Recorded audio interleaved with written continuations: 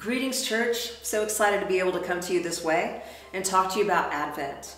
You know, it's been on my heart for a long time that often when we come into the church and we come into this season, I really wonder how much we're being changed during this place in Advent.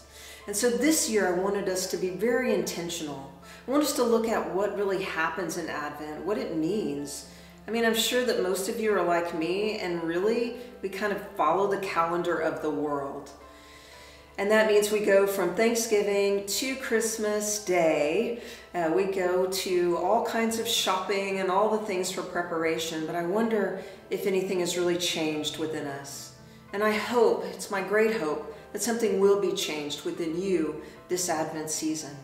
Thomas Merton said, What is certain about Advent is not the coming of Christ, but our reception of Him and the possibility of new life. You know, Jesus Christ already was born 2,000 years ago. But sometimes I think that in the church that we just try to pretend like Jesus was not born and we're getting ready for this baby. And then on Christmas Eve, we all sort of shout hallelujah and say the baby was born. It's a wonderful thing to do.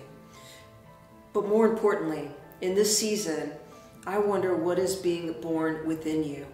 I wonder if this Advent season you can truly think about the possibility of new life, the possibility of being born anew. If you've ever had a child, or if you've expected a child, if you're a mom or dad, or even if you have been born, you know that there is expectancy around birth.